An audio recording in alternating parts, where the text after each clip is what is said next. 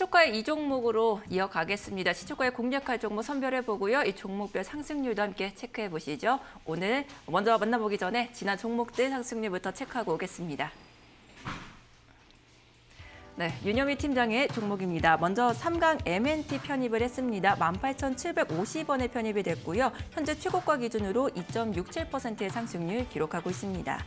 다음으로 3월 21일에 진입했던 카카오 게임즈 82,000원에 편입이 됐습니다. 저희 94,000원까지 보고 있는데요. 현재는 0.37%의 상승률 기록하고 있습니다. 다음으로 3월 28일에 진입했던 LX 세미콘입니다. 14만 7천 원에 편입이 됐고요. 현재 최고가 기준으로 2.72%의 상승률 기록하고 있습니다. 네, 가장 먼저 어, 오늘 함께해 주실 분 소개해 드리겠습니다. 오늘은 교보증권의 윤여미 팀장과 함께합니다. 어서 오세요. 네, 안녕하십니까. 네. 자, 먼저 LX 세미콘부터 저희가 수정 전략이 있으신지 전략 정보 한번 해주시면 좋을 것 같아요.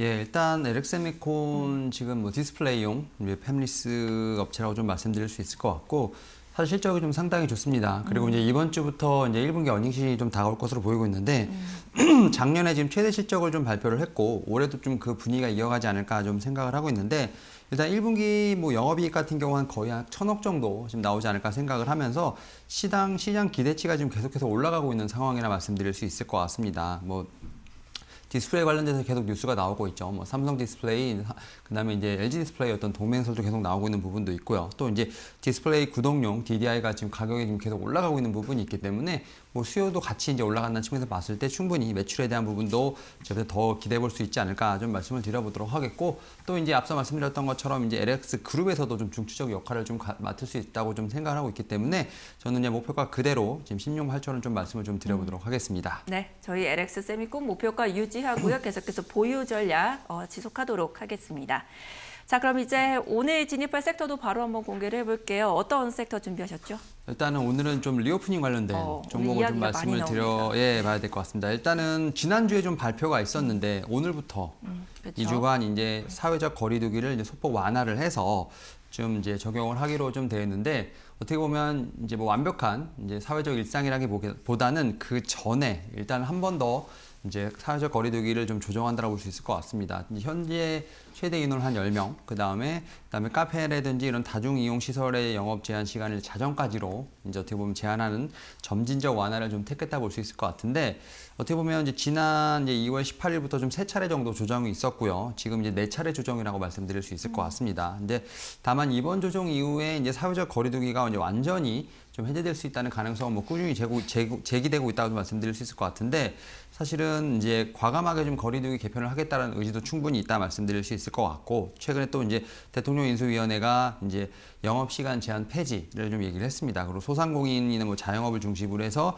좀 요구가 좀 거세기 때문에 이러한 부분을 통해서 이제 다중이용 시설 같은 경우 24시간 이용이 조만간 가능해지지 않을까라는 좀 얘기도 있고요. 뭐 이러한 측면에서 제가 볼 때는 2년간 좀 지속되어 온 이제 사회적 거리두기가 이제 마지막 단계에 들어선 것이 아닌가라는 좀 얘기가 들수 있을 것 같습니다. 에 따라서 지금 4월 중순 이후부터는 좀 완벽한 일상으로의 복귀가 예정돼 있다 말씀드릴 수 있을 것 같고 이러다 보니까 이제 관련된 종목들, 리오프닝 관련된 종목들이 이제 하나둘씩 다시 한번 좀 움직이는 모습을 좀 보여주고 있는데 사실 리오프닝 관련된 종목들 같은 경우는 지난 3년간 좀 주식시장에서 사실 이제 오르고 내림이 좀 계속 있었던 종목이 네. 아닐까 좀 생각을 하는데 일단 백신 개발 소식이 나왔을 때도 분명히 좀 한 번은 움직였던 부분이 있습니다만 뭐 새로운 변이 바이러스인지 또 이제 오미크론이 계속 나오면서 계속 이제 실망감을 좀 안겨주는 뭐 그러한 좀 등락을 좀 반복했다라고 볼 수 있을 것 같습니다. 뭐 이러한 측면에서 봤을 때 사실 이번에도 또 그러한 좀 부분이 아닌가라는 좀 얘기가 나오고 있는 상황이긴 합니다만 최근에 보게 된다면 전 세계가 좀 방역 정, 정책을 좀 완화를 하고 외국인에 대한 이제 무격리 이제 입국 허용 사례가 좀 늘고 있는 상황이라 말씀드릴 수 있을 것 같습니다. 특히 이제 미국이라든지 유럽을 포함해서 최근에 이제 호주까지도 지금 총 한 25개국으로 확대가 되고 있는데 한국 같은 경우도 지난 3월 21일부터 코로나 백신 접종을 완료한 모든 입국자를 좀 대상으로 좀 이제 7일간 격리 제도를 좀 폐지를 하는 어떤 이러한 부분을 결정을 했다라고 말씀드릴 수 네. 있을 것 같고요.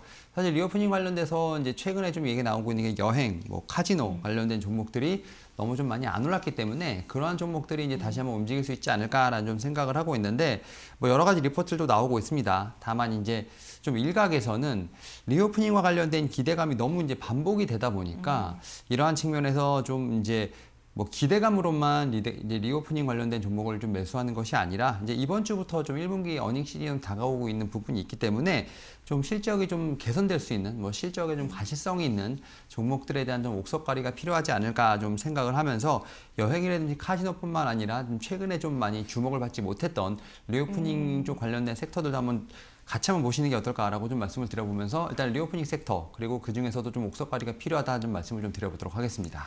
네, 제가 궁금했던 부분을 마지막에 다 말씀을 해주셨네요. 이미 뭐 여행이나 카지노, 화장품까지 많이 움직였습니다. 그렇다면 어느 섹터를 저희가 공략을 해보면 좋을지, 그게 또 실적이 가시화되는 섹터는 어느 쪽일지 궁금하네요.